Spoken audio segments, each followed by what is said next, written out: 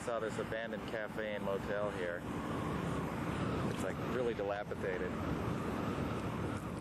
Damn it. There's the motel. My hat just blew away, that's why I had to go stop the film.